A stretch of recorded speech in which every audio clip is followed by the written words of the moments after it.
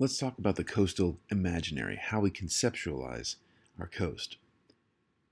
Eventually, we'll talk about the measurement uh, of the area that we call the coast and what falls within the official definition of the coast. But let's start this conversation by just conceptually thinking about ideas of the coast. So, therefore, when we say the coast, what do we mean by that? What comes to mind? What, what elements are there in this in this idea? Uh, firstly, the coast is really an interface, a betwixt between. The classic is, as you see here, this lady striding the um, the surge line. Um, the classic is the immediate area where the water is going to touch the land, but um, there's there's that interface can take on many forms. And so, uh, on this cover of Alta Journal, um, you know, you can see the the implication is that stuff happens, not just at the waterline, but other stuff happens. There's the the bleak, empty uh, a terrestrial landscape. It's not all bleak. It's not all empty. But but um, but really, things happen at this transition space. Perhaps the most dramatic example of a transition fi- space in the coast, the interface of the coast, is the intertidal. And so here we see an example from up by Summerland, but we see going from the left the dry terrestrial boulders, sand, um, not that much life, clearly conspicuous macroscopic life. And then as we start to go to the right, um, we get more algae, we get more um, crabs, uh, mussels, things of that nature. So, so interface is a key aspect of the coast. Next, the coast tends to be very dynamic.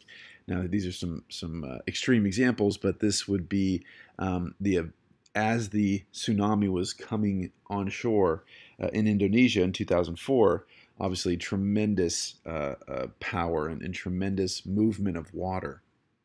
Same thing here in Japan in 2011 with the um, uh, Japanese earthquake and the um, subsequent tsunami. We're looking at the water overtopping the the concrete wall, which is underneath that that curl of water. Um, the entire ocean has risen up um, and is beginning to cause the horrendous flooding in Japan at this time. Again, dynamic nature. Things change a lot at the coast. Next, the coast is quite productive. So, um, as far as our natural areas around the Earth, um, the coasts on average are the most productive that we have. Now, we measure productivity in different measures. The most productive um, in terms of biomass accumulating uh, area on Earth are um, agricultural settings where we have a lot of fertilizers, specifically sugarcane. So sugarcane is the most productive, the most biomass per unit area per day. Um, but the coast is also really productive. You see these these flock of gulls, for example, near Leo Carrillo, um, highly abundant.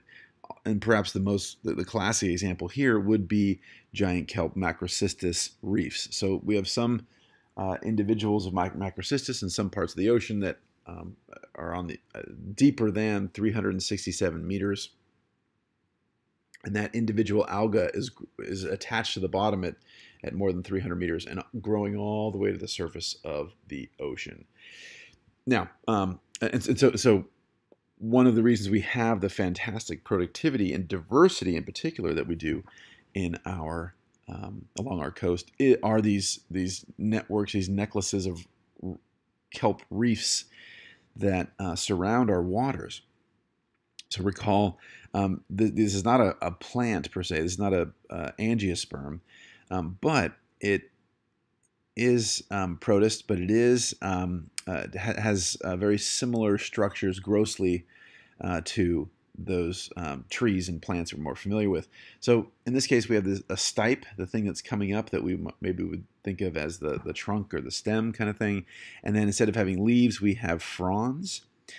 And while the uh, maybe a typical plant that we're looking at, if we look at, say, our, our hand as a leaf, um, the meristematic region, the growing area, would be oftentimes around the edge of the leaf on a terrestrial plant, so it gets bigger and bigger. Your hand, by analogy, gets bigger and bigger. Here, with these critters, um, uh, the apical meristem, the actively dividing uh, area, is right at the base. And so it's essentially a conveyor belt. Each of the fronds is a conveyor belt. And if you go out there under the ideal conditions, which is basically now, now this time of year, and we put a hole punch uh, near the base of that, um, that frond, so that we cut out a little hole so we can conspicuously see where that hole is and how far it is from the, from the stipe or from the metacyst. Um, uh, and then come back 24 hours later, oftentimes that, that hole punch will have moved one foot. So we'd see one foot of growth of this frond. And that's on one frond, which is one of hundreds or thousands on that one stipe or that one part of the stipe. And there are you know dozens of these stipes. So this is an incredibly productive um, uh, critter. And then just one final note about this productivity in the coastal zone. Um, we conceptualize seasons uh, with uh, our traditional uh, winter, spring, summer, fall. Um, our coastal Southern California seasons really are pretty other than fire, flood, mud season, and, and, uh, that we seem to have these days. Um, uh, the seasons are really dictated by the life cycle of giant kelp and associated with this productivity. So this time of the year is the big giant canopy. So now these these individuals have grown so large that they're laying down on the surface. So late summer, early fall is the time of massive kelp canopies on the surface. All of that biomass, all that productivity not only creates habitat and, and, and food directly for the critters that live on that uh, in these reefs, but also the sloughing off, the, the breaking off of that tissue goes into the detrital food web um, or rack on beaches, rack, W R A C K, on beaches. And, and that exported biomass um, augments all kinds of communities, both underwater and uh, on land. So the coast, very productive. Here's an example uh, from Malibu, um, talking about uh, fisheries. It's the end November. It's November of 2018. We see here, looking just off the coast of Malibu, we're just about at the bottom of Yerba Buena Road here on the edge of PCH. And we see this very large squid fleet. So our most, uh, in terms of the number of individuals harvested, in terms of the gross poundage, of seafood landed in California, our squid fishery is number one or, or always close to number one for the past many years. So these guys are going out in these boats that have these very large lights, and that's what we're seeing right here at sunset.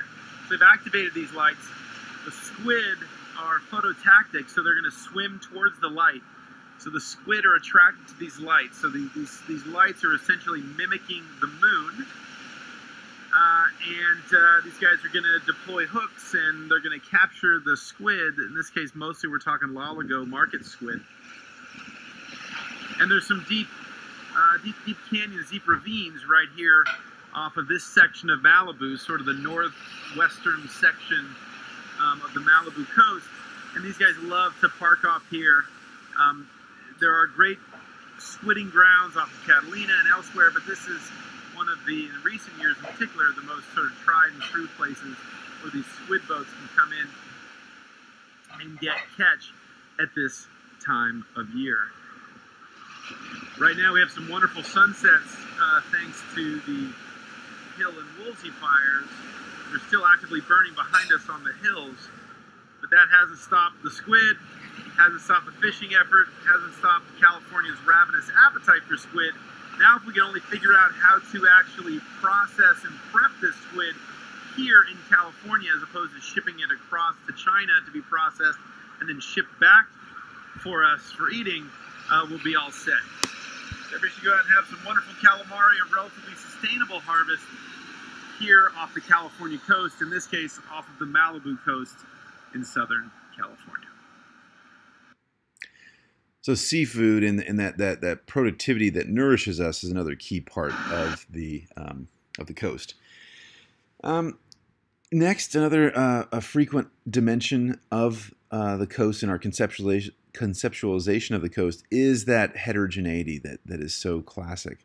So um, here we're talking about abiotic heterogeneity, the weather, and so this is a recent this is a grab of um, of uh, um, weather conditions doesn't matter what it is, right? It doesn't matter if it's hot or or or uh, heat or um, rainfall or whatever. But there is definitely this this coastal lens, this coastal fringe, um, where things are different and oftentimes more variable.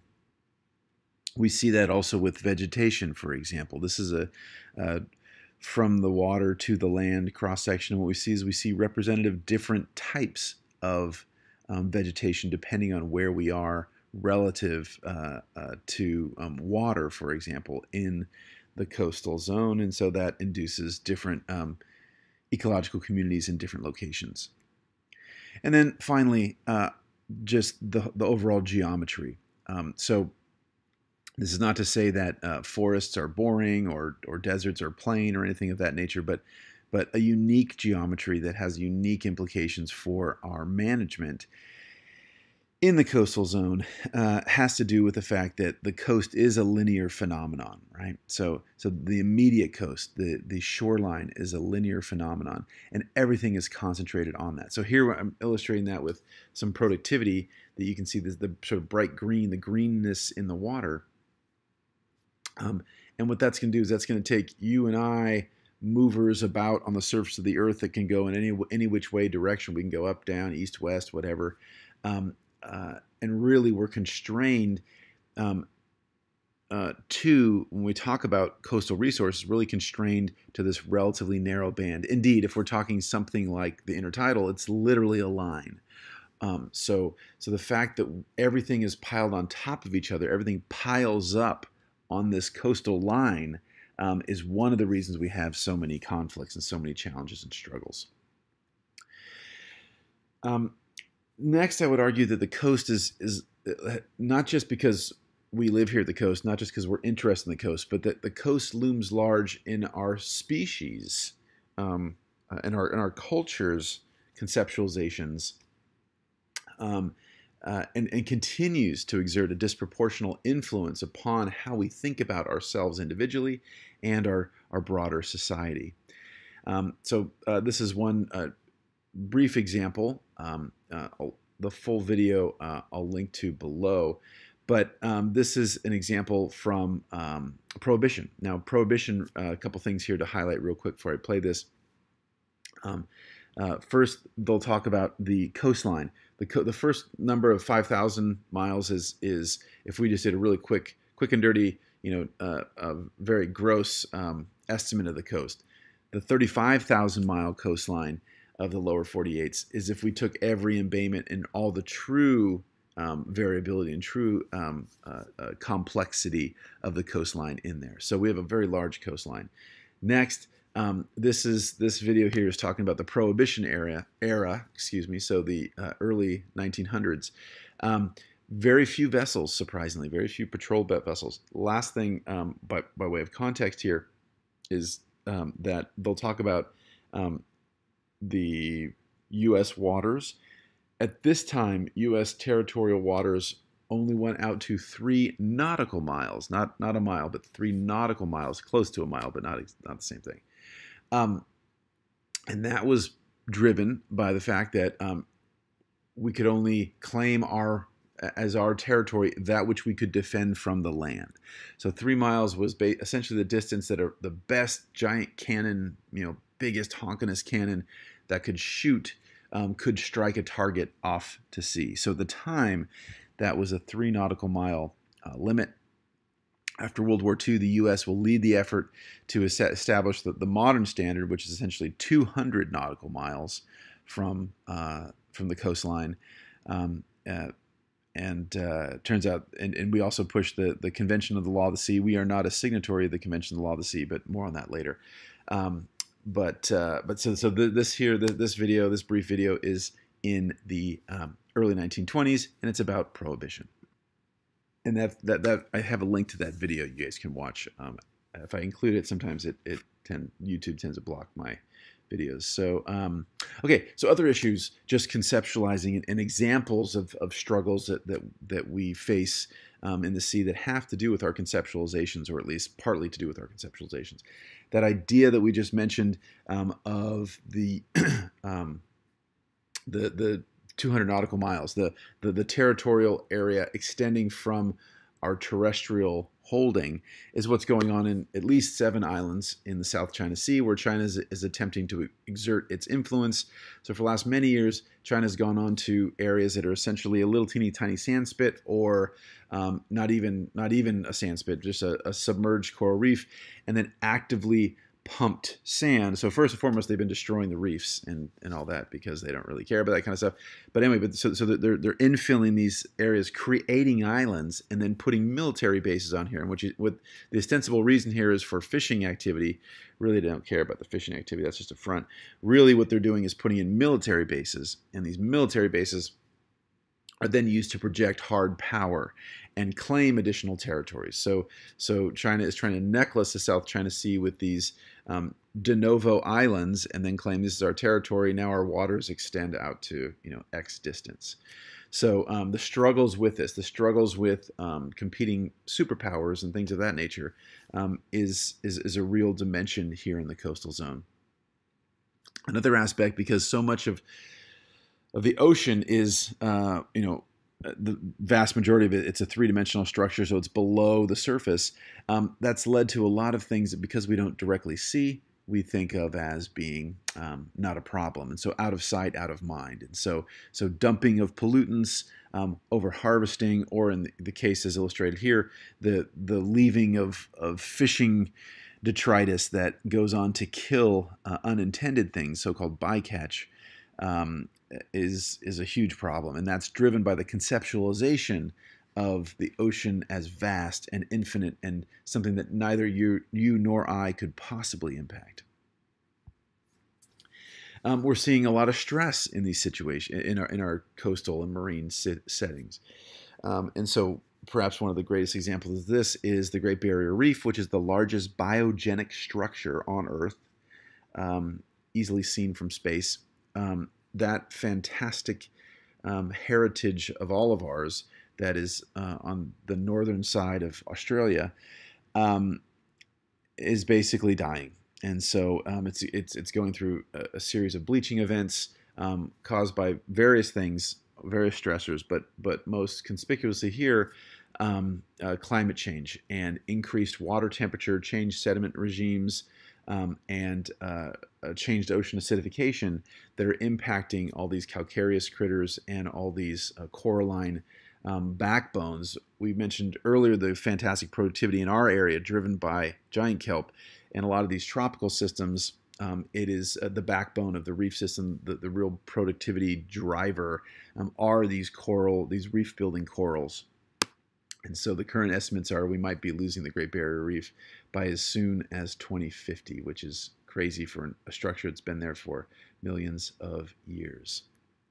Um, another one is this idea of uh, uh, uh, permanence and all that kind of stuff, right? So th- these conceptual ideas of the coast, um, we think of something is here, so it's going to keep being here. We forget the dynamic nature, we forget the interface nature, and so this is a, a animation. This is a visualization of um, this this area in Miami where um, essentially we have sunny day flooding. So not during a hurricane, not during a, a, a yearly high tide or something like that, but rather just regular old um, rise of the tide on any, any, given day. And that is continuing to um, be a greater and greater problem. It is unlikely that the city of Miami will persist um, much. Now, is it going to die tomorrow? No. Is it going to die two weeks from now? No. But um, if I live a nice, healthy life, it is unlikely that my, the city of Miami will exist um, um, in the location it is as it is now um, when I am, uh, you know, when I'm when I'm 75 or or 90 years old or something like that nature. Um, and so more about that later. But basically, um, uh, this this uh, idea that there really are consequences, right? And not understanding the coast and the coastal dynamics um, are is, is quite a, a, folly to be engaged with. Um, and that's not just a folly in places like Miami; it's a it's a um, folly all around the world. So here we're looking at Venice, the great city of Venice. Um, that w- the structures you see people walk on were built hundreds and hundreds of years ago, and now these things are flooding. So now um, during uh, high tides, you either have to have these little disposable galoshes that you get at a store or walk around on these raised platforms. And um, the response um, of the Italians is to essentially um, cordon off the lagoon where Venice is located, the coastal lagoon, um, during times of, of high water. And so essentially have a, a, mechanical gate that will close and hold back the water either during very high tides or during um, a big storm event type of thing, and then can open up for the rest of the year. So that's that's a crazy engineering solution. We can't do that. I mean, maybe we can do that for the Venices of the world, but for the vast majority of the our coastal resources, we cannot engineer our way out of this. Next, I just want to mention that um, the coastal zone is also full of special interests, as as any you know true uh, hard management challenge uh, seems to be, um, and also there's lots of powerful forces. But in particular, I want to uh, now mention a little bit about the visual rhetoric and, and how important that has been to our conceptualization of the coast. And so on the left, we have President Trump, who thought he could uh, you know, go to uh, a, a, hurricane damaged area and, and, fling a couple paper towels and, and have an impact, um, and is portrayed as a, a, pirate. People people get the idea when we talk about a pirate. People get the idea what we're talking about. On the right, this is um, uh, this is not the pandemic. This is um, this is pre-pandemic, but this is then uh, Governor Christie of New Jersey um, because of a budgetary uh, uh, uh discussion, argument, debate, um, uh, shut down the New Jersey beaches, many of the New Jersey beaches, because of um, uh, uh, personnel reasons, essentially. But even though it was closed to the rest of the public, uh, famously he and his family would went out and, and, and, hung out on the beach. So so this idea of the beach is a lazy place. The beach of this is a place where folks that um, you don't don't don't do work kind of go and hang out. Like these are powerful um, um, rhetorical tools and things that are deeply embedded in our conceptualization. So much so that many of our political cartoonists and, and others will draw upon this imagery all the time. In fact, so often we often don't even really get it. But but this is an example from the then uh, chief, uh, the then head of the EPA, who was um, super problematic and uh, and later prosecuted. But the point is, um, hey, here's a challenge and the um, the illustration, the political illustration is let's show a coastal flood and someone having to escape on a boat.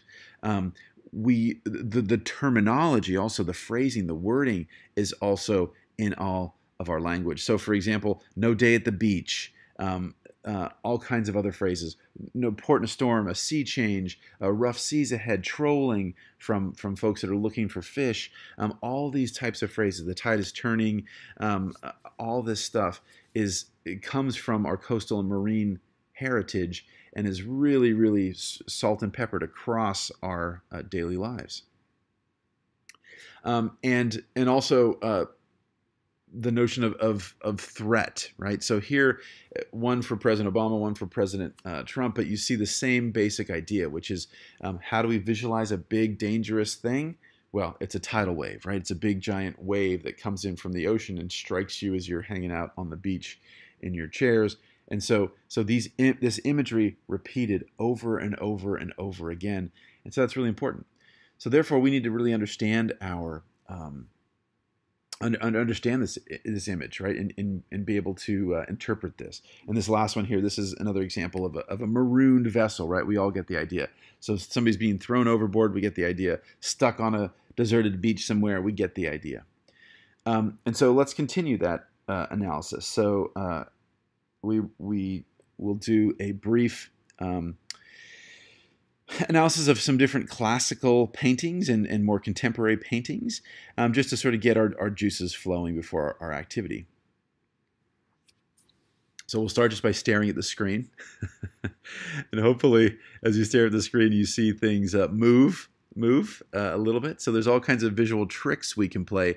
And artists oftentimes will um, specifically employ different symbolism or different um, uh, visual tools to induce different feelings. Uh, not necessarily the queasy feeling you might be feeling looking at this uh, this supposedly moving um, field of the stagnant image, um, but nevertheless, uh, all kinds of great things. So we can talk about exploring the details. The first example we'll talk about is Saint Sebastian. Uh, uh, the, this is one of three um, classic versions um, painted by Mantegna in the late 1400s. Um, but suffice it to say, there's all kinds of fantastic detail here. And what I'm asking you to do in these exercises that exercises that we'll do in class is to look at the visual rhetoric. So what is the stuff going on here? What what are the elements? What is the artist trying to convey? What's the message here, right? So we can talk about the detail, um, the, the the upper part of this image, since it's very detailed and it's very um, um, long, uh, it's hard to get it all in. But but just you can take a quick glance here at this um, top part of the image and then this bottom part of the image. So, so like for you guys to think about this, what are all the different things being communicated or implied in this image?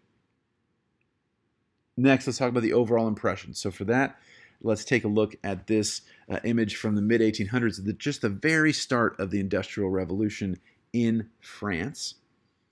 And so um, so this is more of an impressionistic land, landscape, but have you guys stare at this and see what what's going on here. You know, what, what's the message? What's what, what's the story being um, uh, implied by this painting? And then next, uh, you know, really talking about details. Let, us let, get let's get into some of those those specific things that are implied with the the, the particular given uh, visual um, item. Classic painting. Uh, you guys have talked about this in National Park and other other courses, Cons Bio probably, um, environmental history. Uh, so this is, uh, you know, probably the, the the most classical image of American expansionism into the West. Um, this American Progress by Gast um, really is coming out at the time when um, uh, you know we are we've we've gone full bore uh, into the West and manifest destiny. That phrase from that uh, um, op-ed in a Colorado newspaper really was taken as um, uh, the marching orders for for in justification for many many folks. And so so obviously here um, uh, American progress as visualized by this saintly, godly um, uh, woman who's going from the east to the west uh, driving out uh, nature, Native Americans, um, etc., bringing civilization, uh, domestication, uh, etc. So all we we could spend a whole class just talking about this one uh, individual image.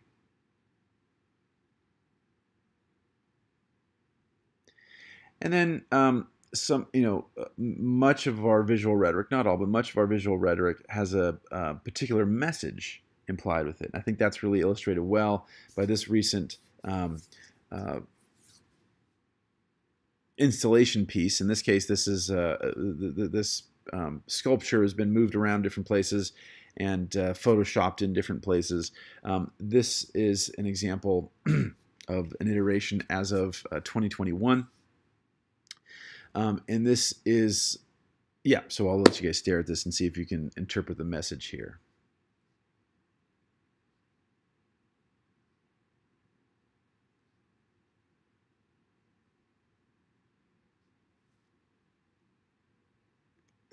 Okay, and then um, we can just sort of talk about the overall rhetoric. We can pull all this stuff together, the specifics. We can talk about specific examples, the overall impression, um, etc. And so we'll end with looking at a couple uh, last um, contemporary pieces of art by George Sumner, the, the marine artist, uh, the the environmental impressionistic artist, as he likes to describe himself, uh, artist George Sumner.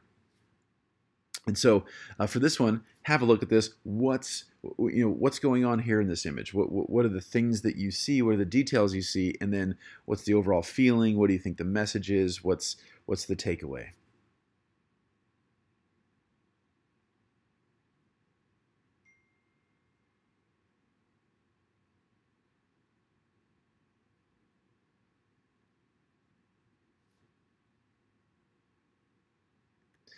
And then lastly, uh, we'll finish with another of uh, George Sumner's pieces. This is a Playland at the Beach. Um, and so this, uh, another example of a, of a San Francisco coastline. Have a look, uh, see what you can think. And I should just say, um, from our from our discussions with students, um, not everybody recognizes the landmarks. These these are some San Francisco specific landmarks. So I'll just start off noting that this is this right here is um, a windmill, and so we are um, we are in the ocean looking towards the city of San Francisco, um, right on Pacific Beach. This is Pacific Beach. This is actually the place where my uh, I had my first date with my now wife, but that's another story. Um, uh, and this is Golden Gate Park. Um, so, so this is the, the, basically the start of Golden Gate Park. Golden Gate Park goes away from us into the city, um, and this is the Cliff House uh, uh, up here, and this is all the city of San Francisco.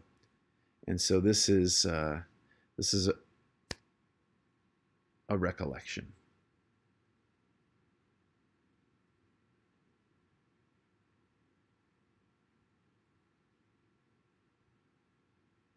Okay, great. So I hope you spent a little bit of time uh, conceptualizing what what what feel you get from this um, from this image. What what what what impression you take away. What the artist is trying. What do you, what do you think the artist is trying to convey with this? Um, and then uh, we'll just wrap up by with a few um, examples of um, how we think about our coast hit this click click this uh, this link and this will take you to our activity where we're going to do a, um, a search and a search activity and look at the types of things that we um, pull up when we use words like coast, sea, tide, etc. I'll just fit, conclude today on a beginning with the discussion of um, some new thoughts that I've had over the last couple years over teaching this class and, and working in, in, the coastal zone of um, how our changing rhetoric around the coast um, has has uh, progressed.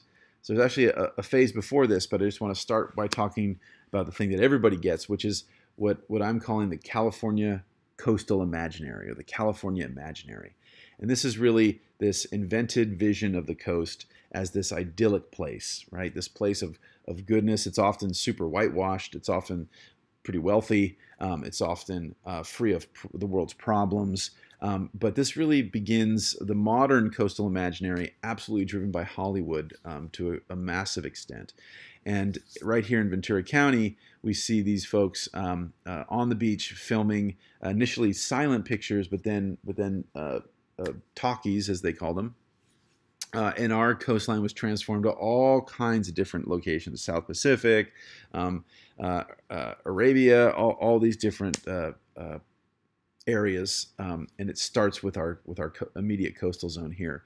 But then it really gets going in the 1960s with the with the Gidget movies and the sort of surfing culture evolution and and I should say starting of the modern surfing culture um, and and spread and all that stuff. So that sort of Gidget goes to the beach type of stuff um, was was absolutely part of the modern coastal imaginary, and we see that all over the place. So we see Tony Stark's, uh, you know, uh, retreat is of course in Malibu, of course in the the, the Tony enclave of Malibu, in in the uh, you know insanely futuristic looking mansion, etc. All of that is the California imaginary. So the California imaginary is this great place, this awesome place, place of abundance, fun, all that all that type of stuff.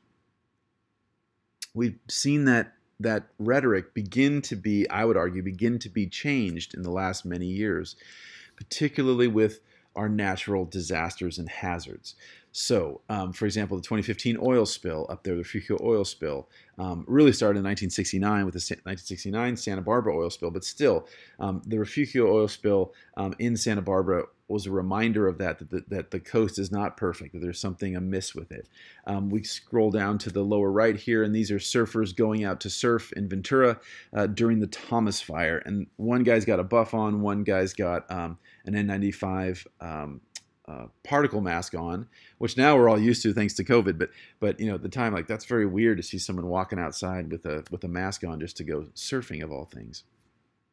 On the on the left there, we already saw that image uh, previously in this lecture of flooded Miami, um, but but uh, again that idea of this you know beautiful city now being destroyed by the sea.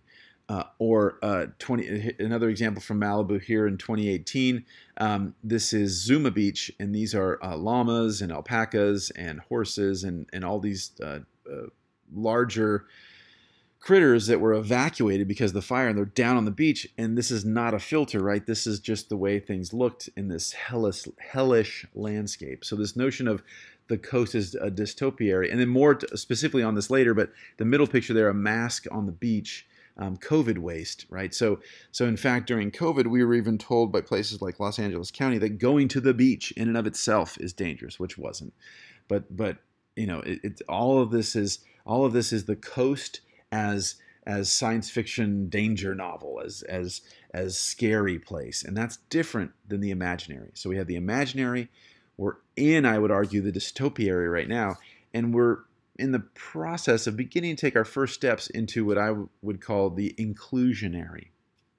So the inclusionary is this next evolution, which is um, the coast, a, a real perception of the coast but also one that includes everyone, a just vision that has everybody along. So it's not some some uh, you know wealthy tanned uh, white folks uh, dallying at the beach, but it's everybody, um, working industries. Um, um, uh, diverse communities, all that fantastic stuff. And this is perhaps best highlighted by the ongoing um, saga of Bruce's Beach. So, so uh, more on this later, but the short version is um, uh, right here, Bruce's Beach. This is a chunk of, in the city of Manhattan Beach, a chunk of, right now it's a big giant park that stretches from Highland Boulevard down to, um, basically down to the water, down to the strand, down to the sand. And this was an area that was originally in 1912 purchased by um, uh, Willa Bruce and her husband. Um, and uh, the idea was um, uh, this was not uh, heavily occupied um, th- this part of LA County back back in the day, back in the early 1900s, and so um, this couple bought this land and uh, turned it into essentially a, a hotel, a, a, little resort thing. You can come out there, hang out for African American folks. There weren't many folk, many places where where our African American community could go and uh, just you know recreate and let their hair down, etc. There's Inkwell up in Santa Monica. There's a few places, but but not not that many. And so the idea here was this was a um, uh, relaxing place for Black folks, and um, and they operated for about 12 years, uh, and then um, uh, and then uh, actually turned their area from just a, a, resort place to actually you could begin to buy bungalows. People could be, begin to purchase units, and it was a very successful business. City of Manhattan Beach didn't like that, and they basically took it away through eminent domain, through racist practices, and basically using the excuse of eminent domain because we need this for for a park or whatever. It was never used as intended. So the family was was uh, had their land taken away, and um, for decades it was a huge challenge in the Bruce's family with their descendants and long story short, uh, we get to the 2000s, and there is there eventually becomes to be a, a plaque uh, put here, a historical marker, which was hugely controversial just in and of itself, and, and the phrasing, etc. But suffice it to say, um, uh, the plaque went in to memorialize that that's what this area was back in the day. And then just most recently, just this uh, last year and this year, um, just this last month, the, the, deed was formally transferred to back to the Bruce's family's descendants. Um, and uh, now that parcel of land, we had to pass a state law, we had to pass an ordinance in, in Los Angeles County to do this, but we took public lands and we gave it back to the family. So now, um, at the base of this is the lifeguard, um, the regional lifeguard headquarters for for uh, Baywatch, the the lifeguards there in LA County. And uh, so now, instead of being on on on their land, now this this park and and the lifeguard folks are um, leasing the land from the Bruces. So they are so the stuff is still all there, but now there's a financial benefit going to the Bruces. What they eventually do with the land is their call, um, but it's a, an example of uh, a massive injustice that's beginning to be rectified in some of our coastal areas. Um, just beginning. I'm not trying to imply that we're done, but just beginning. We're seeing a similar thing in in places on the East Coast, um, in in New Orleans, um, and other coastal uh, coastal enclaves um, where we're beginning to reckon with this and make a more inclusive um, place. Now, I don't want to say that that's that's it's perfect by any stretch of the imagination. So, a, pro, a group that I've been, um, I, I, do various things with various groups, uh, volunteer uh, throughout the year. One of them is uh, Pacoima Beautiful, which is a group that takes um, uh, folks from the, in this case, from the valley to the beach in the summertime to get everybody to the beach. Everybody, this is everybody's heritage. Let's get everybody out there. And um, one of our one of the first trips I went on with them in 2021 to uh, Lechuza Beach um, in Malibu. Uh, or no, was this Lechuza? Yeah, I think this. Yeah, this I think this one was Lechuza. Um, anyway, it was one of the beach stops. Um, we went down there, and these are mostly um, Spanish-speaking folks um, uh, from the valley that that don't necessarily have can't easily get out here on their own. They don't necessarily have cars, so um, uh, low income, all that kind of stuff, and um, brought them out here, have a fantastic time. Kids are at the beach, having having food. Everybody's having a great old time. And we and after we get there, this LA County sheriffs pull up, right? So they pull up and then uh, start asking like, "What's going on here?" The only thing that was going on were brown skinned folks were at this beach that normally is um, very hard to get to and and uh, you know normally just sort of the wealthy residents around there are the people that are on the beach. And so someone actually called the cops because there were so many people that looked not like them at the beach which is jacked up and messed up. Um, but uh, another example of of how we need to push into um, a more inclusive vision of the coast and we're seeing that more and more um, even though we have a long stretch to go. So, just in review, we have the, the coastal imaginary, which is the, the and, all, and these these these rhetorical approaches to the coast are still present. I'm not saying that they're gone, but but the but we start with the coastal imaginary. We're in, I would argue, the dystopiary, and we're just beginning to to enter into this this inclusionary. And so, how these things can be um, uh, impactful or how these things can can impact you or me or our policies in particular i think are illustrated here. So for example uh, the, these rhetorical strategies are so persuasive are so um, so embedded that we we can lose track of objective reality. So for example during the pandemic all of these um, uh, stories were coming out and and you know it seemed like every single story was how horrible we were doing how poor we were doing with uh, with vaccinations, how uh, you know we didn't know how this and that, and everything was was so much of the media coverage that we were reading seemed very negative and very scary and very bad. Um, and in fact, some scholars uh, took a look at this, and so they um, looked at um, uh, news news related to COVID in the U.S. and then news related to COVID outside the U.S. And what they found is that, of course, a lot of the the media coverage wherever we were talking about was negative. It was a scary time, right? We're in the middle of this pandemic. But what they found was that in the U.S., about 90% of the articles um, were, were, were bad news, were, were, were, were negative, right? Whereas in the rest of the world, it was more closer to about half. So much less negative globally. So you know there there are some upsides, right? Getting getting to spend time with your family and this and that. Not to be Pollyannish, but but the point being that that the the rhetoric can overcome us and beca- can become so successful and so reinforcing that we constrain what's possible that we don't conceptualize all the different ways out of the maze. And so that's why thinking about these um, these things are uh, are really important and helpful. We need the objectivity. We don't have that objectivity we're not going to be able to solve these crises in the wake of natural disasters or whatever so, seeing clearly is really a necessary skill if we're hoping to have uh, just and sustainable management of our coastal zone, whether that's in the wake of a disaster in, in Texas or Louisiana or wherever. Um, so I'll just wrap up saying there there is another thing just to keep the keep the language going is what I'm calling the phobiary, which is sort of the coast is a scary place that you shouldn't be in, like shouldn't even go there. And so um, most of that rhetoric is before our time, so I haven't really talked about that. But but that would be say pre 1900s uh, uh, coastal views. So um, so we have the the phobiary, imaginary, dystopiary, and inclusionary.